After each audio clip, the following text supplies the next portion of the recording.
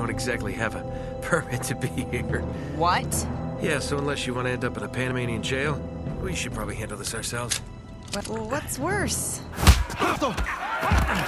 Asshole, let go of me! ¡Espérenmelo! Shit! Será la bocota, gringo. How long am I supposed to be in here? Where's the toilet? You looking at it? Have fun. I will. Gracias. ¿Estás muerto? Ya basta de hablar.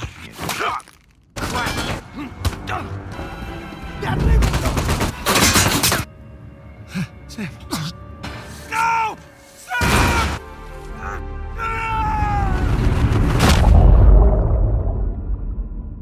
You obviously haven't been in a Panamanian jail.